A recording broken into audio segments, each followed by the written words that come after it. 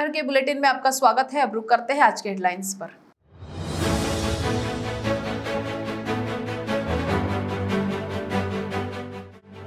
राज ठाकरे की सभा में उमड़ा जन सैलाब। लाउडस्पीकर मुद्दे पर राज ठाकरे ने दोहराया अपना मुद्दा।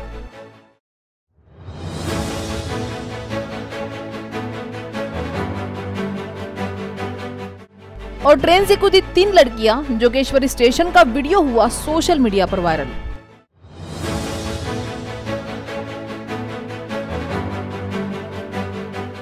और अब खबरें विस्तार से।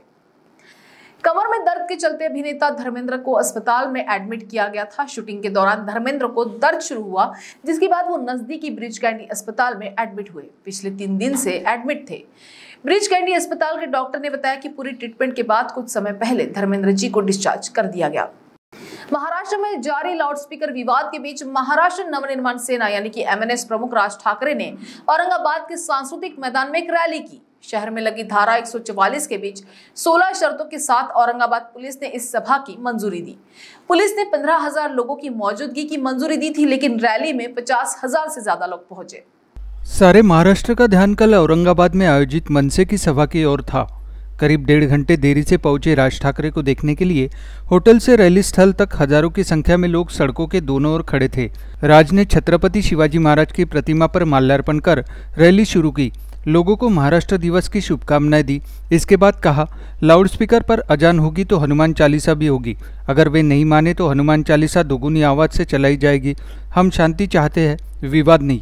इसके बाद राज ने कहा, हमने मस्जिदों से लाउडस्पीकर हटाने के लिए तीन मई तक के लिए अल्टीमेटम दिया था, लेकिन तीन मई को ईद है। मैं इस उत्सव को खराब करना नहीं चाहता। हम सरकार से अनुरोध करते हैं कि वह हमारी मांग पूरी करे, नहीं तो चार मई के बाद हम किसी की नहीं सुनेंगे। उसके बाहर भी हज़ारों लोग हैं। रैली से पहले शनिवार को सौ से अधिक गाड़ियों के काफिले के साथ राज औरंगाबाद पहुँचे।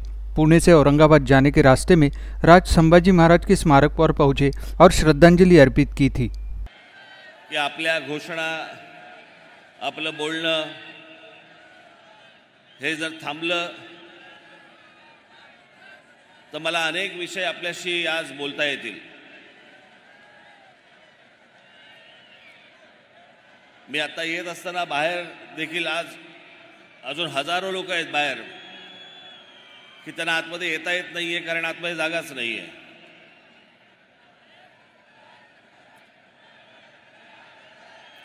आज सर्वप्रथम मी आपणा सर्वांना एक मेच्या महाराष्ट्र दिनाच्या सर्वांना मनपूर्वक शुभेच्छा देतो. कामगार दिनाच्या मनपूर्वक शुभेच्छा देतो. आणि बोलायला सुरुवात करतो.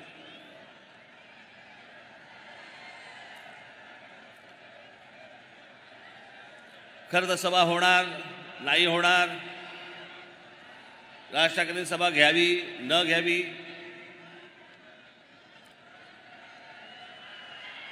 सभेला परवानगी मिळणार नाही मिळणार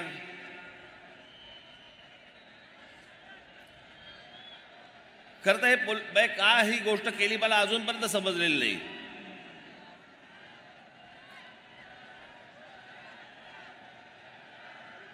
मी महाराष्ट्राच्या कुठच्याही कोपऱ्यामध्ये जरी मी समजा सभा घेतली असती तरी दूरदर्शनवरनं तुम्ही पाहिलंच असतात ना?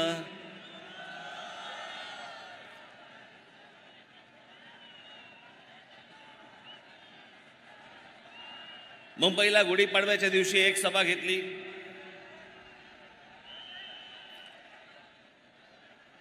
त्याच्यानंतर त्या सभेनंतर बरेच जण बडबडायला लागले. मग त्यांना उत्तर देण्यासाठी म्हणून एक उत्तर सभा ठाण्यामध्ये घेतली.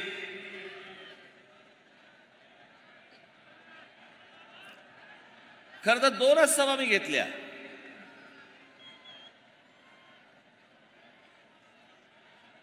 पण या दोन सभेवरती सभांवरती किती बोलतायत?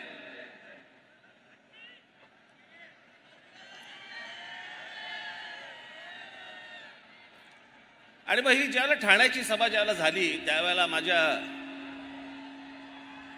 दिलीप धोत्रेंनी मला फोन केला.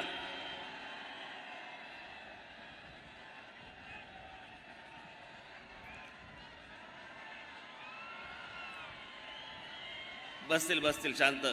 जागा नाही ऐकता येणार नाही त्यांना. आणि आमच्या दिलीप धोत्रेंनी फोन केला आणि दिलीप धोत्रेंनी सांगितलं की साहेब आपण एक संभाजीनगरला आपण एक सभा घेऊया.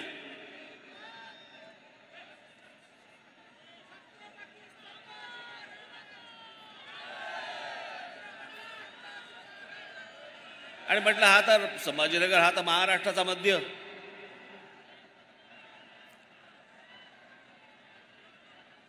मग मी त्याला सांगितलं म्हटलं आपण एक संभाजीनगरला स- सभा घेऊ म्हटलं मी तुला तारीख सांगतो नंतर. आता हा विषय फक्त संभाजीनगर पुरता मर्यादित नाही. माझ्या ह्याच्या पुढच्या सगळ्या सभा या सगळ्या मराठवाड्यातल्या प्रत्येक जिल्ह्यामध्ये होणार आहेत.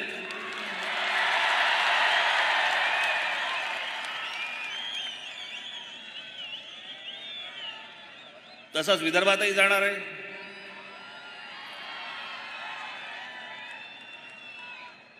आपल्या कोकणातही जाणार आहे उत्तर महाराष्ट्रातही जाणार आहे पश्चिम महाराष्ट्रातही जाणार आहे.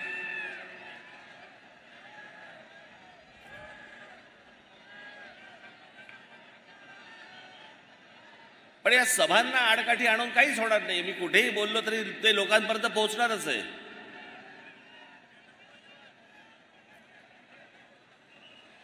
मग कोंबडा झाकायचं ठरवलं तरी ते उगवायचं थोडी राहतं सूर्य.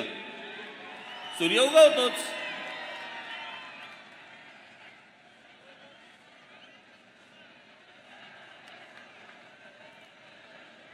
पण आज या ऐतिहासिक संभाजीनगरमध्ये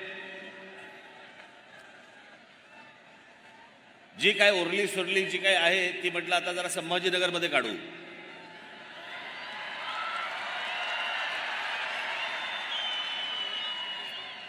मला कल्पना आहे की महाराष्ट्रामध्ये अनेक प्रश्न आहेत. पिण्याच्या पाण्याचा प्रश्न आहे संभाजीनगरमध्ये शहराचा मध्ये पिण्याच्या पाण्याचा प्रश्न आहे. दहा दहा दिवसांनी पिण्याचं पाणी येतं.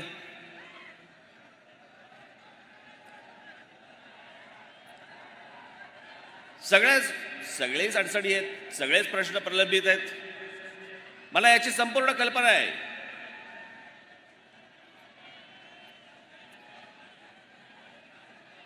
पण आजचे जे काही प्रमुख विषय आहेत या प्रमुख विषयांना धरून मी आजचं तुमच्याशी बोलणार आहे.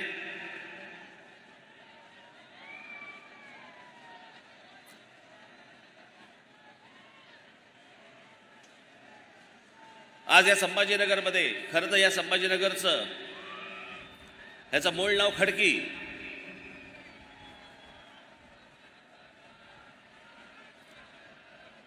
आपल्या दोन्ही राजधान्या इथल्याच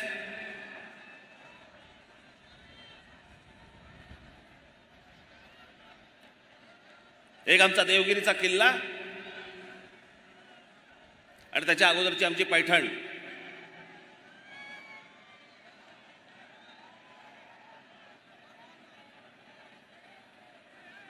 मला असं वाटतं आजचा महाराष्ट्र दिन एक मे आपण साजरा करताना पहिल्यांदा आपण थोडासा महाराष्ट्र नीट समजून घेणं गरजेचं आहे. कारण तर जर महाराष्ट्रच समजला नाही मी त्याविषयी म्हटलं ना ठाण्याच्या सभेमध्ये म्हटलं का कुठच्या सभेमध्ये म्हटलं परत आठवत नाही मला. पण जो जो समाज इतिहास विसरला त्याच्या पायाखालचा भूगोल सटकलेला आहे. त्याच्या पायाखालची जमीन सटकलेली आहे.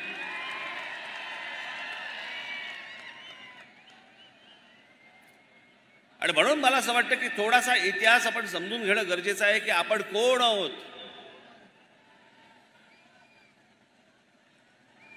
आपण महाराष्ट्राचे आहोत आपण मराठी आहोत.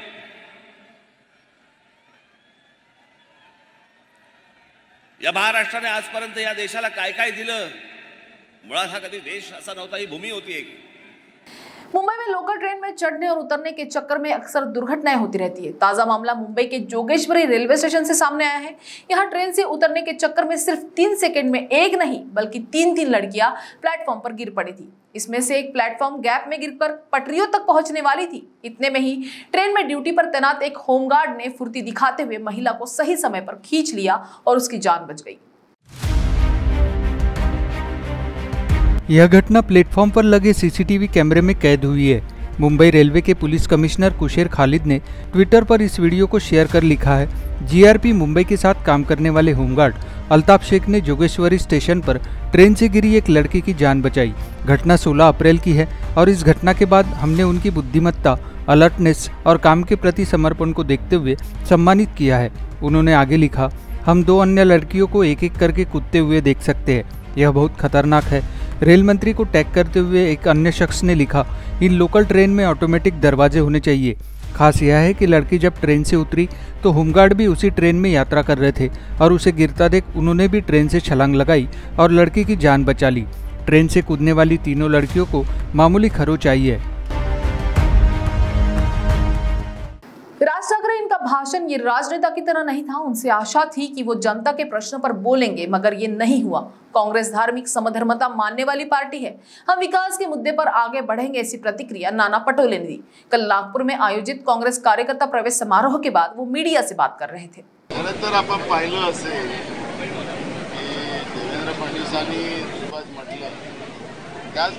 भाषण होतं अशा पद्धतीचं चित्र आलं.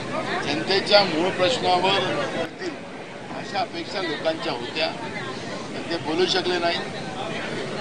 आपल्याला माननीय सुप्रीम कोर्टाने दिलेल्या निर्णयाप्रमाणे महाराष्ट्रामध्ये पोंग्यांच्या बाबत जवळपास सगळीकडे कारवाई झालेली आहे. त्याच्यामुळे त्यांचा निर्वाणीचा इशारा कुठेही कामात पडणार नाही. एक आणि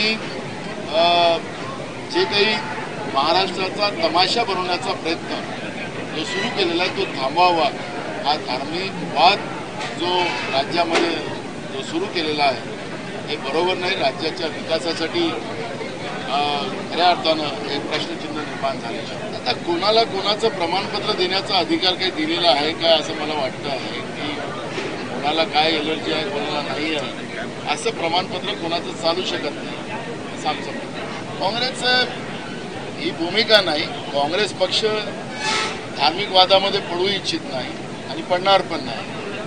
काँग्रेसची भूमिका सर्वधर्म समभावाची राहणार आहे. पण काँग्रेसची भूमिका राज्याच्या जनतेच्या विकासाची लढाई जी महागाई आज वाढलेली आहे बेरोजगारी वाढलेली आहे शेतकऱ्यांचे प्रश्न आहे गरिबांचे प्रश्न आहे हे प्रश्न घेऊन काँग्रेस लढेल या लोकांना न्याय मिळवून देणं हा काँग्रेसचा हेतू आहे. आम्हाला कोणाच्या विवादात पडायचं नाही ती आमची कुठली भूमिका आम्ही आम्हाला त्याच्यासाठी शासन सक्षम आहे. शासन कुठलाही गैरकानून कोणी कायद्याची काम कारवाई करेल त्याच्यावर कारवाई करायला राज्य सरकार सक्षम आहे. त्याच्यामुळे काँग्रेस पक्षाकडून अशी कुठली भूमिका त्यामध्ये घेण्यात येणार अशा प्रकारच्या इशाऱ्यामुळे वातावरण तेच मी तुम्हाला सांगितलं की भारतीय जनता पार्टीच्या वतीनं केंद्रातल्या सरकारचं फेल्युअर लपवण्यासाठी हे सगळं प्रयत्न सुरू झालेला आहे.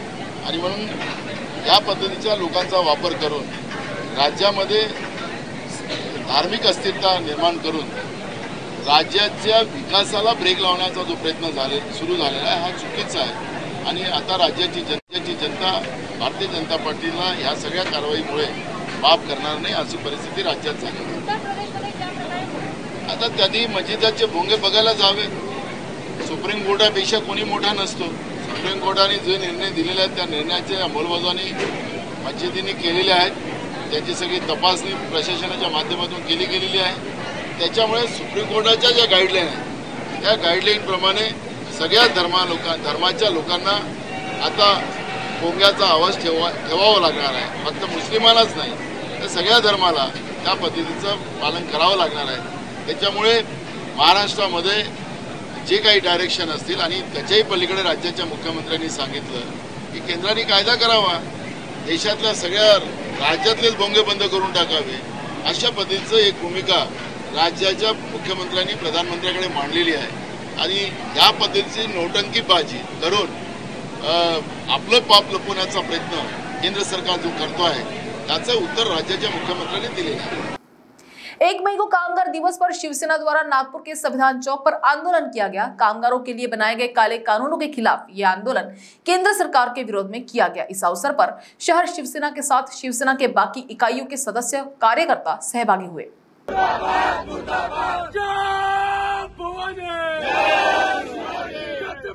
शिवाजी महाराज की मोदी सरकार मुर्दाबाद। मुर्दाबाद मुर्दाबाद। मोदी सरकार मुर्दाबाद। मुर्दाबाद मुर्दाबाद। कामगारों के सरकार मुर्दाबाद। मुर्दाबाद मुर्दाबाद। केंद्र सरकार मुर्दाबाद। मुर्दाबाद मुर्दाबाद। अरविंद सावंत साहब आगे बढ़ो। हम तुम्हारे साथ हैं। अरविंद सावंत साहब आगे बढ़ो। जय शिवाजी।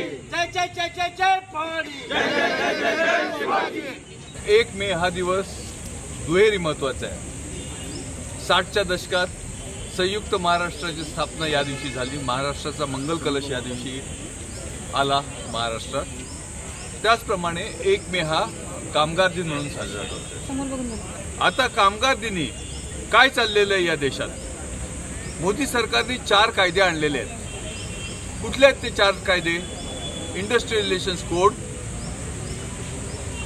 industrial safety code आणि वेज कोड याद्वारे काय होणार आहे?